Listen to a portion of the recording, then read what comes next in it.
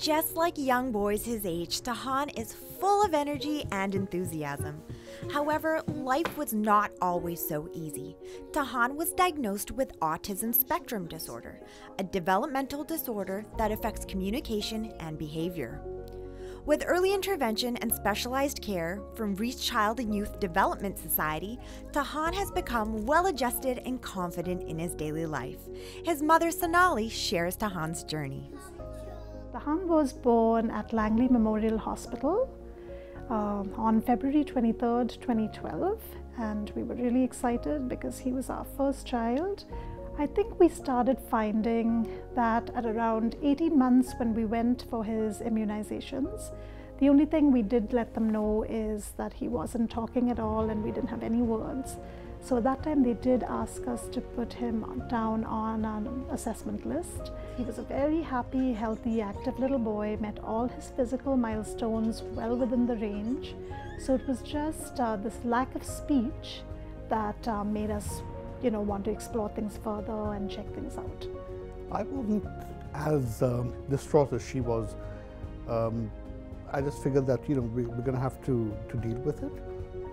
And uh, once uh, Sonali got in touch with Reach and we saw you know the plan they had laid out, um, I just thought we'd, we'll take it one step at a time. I, I, wasn't particularly hassled by it at all or distraught in any way. Yeah. Wow, more. One more seal. It's a soft seal.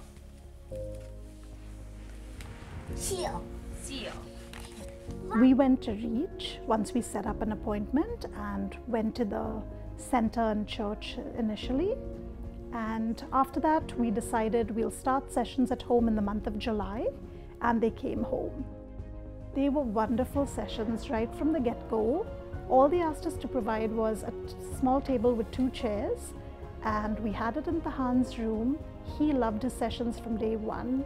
He would be looking out of the window, waiting for Jessica or Vanessa to show up.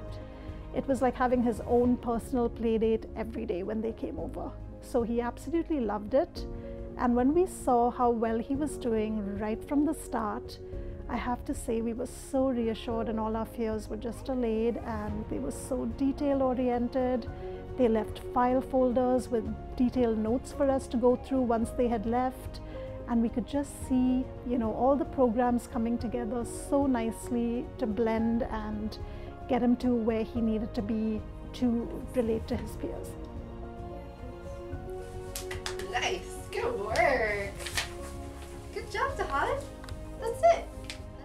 One of the biggest breakthrough moments was I still remember we had gone to Hawaii on holiday in May and he didn't say a word the entire eight days of the trip, not a single word. As soon as we came back, we got the diagnosis. And then a few months later, in the fall, when we went to the Okanagan, one morning he came up to us and said, Daddy, can you make me a strawberry jam sandwich? And we were completely blown away. I remember, I think that was the moment I felt, you know what? He's going to be okay. We can't go under it. Oh no, we've got to go through it. Family life has been good. We are very hopeful for the future. He interacts beautifully with his sister. So I have to say this diagnosis has not been devastating for us at all. We've taken it as a challenge. Yes, it would have been lovely if he didn't have the diagnosis. But you know what? Every kid has something and uh, no one's perfect. And I think it's all about how this condition is managed. And uh, early intervention is key.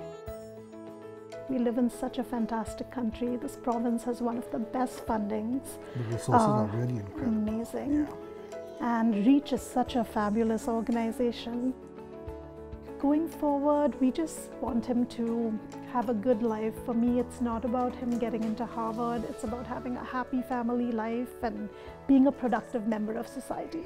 So I think uh, we have no concerns that he will be a contributing member and that's, that's our our biggest hope that he has a good and fulfilled life and he fulfills and reaches his potential, whatever that potential may be.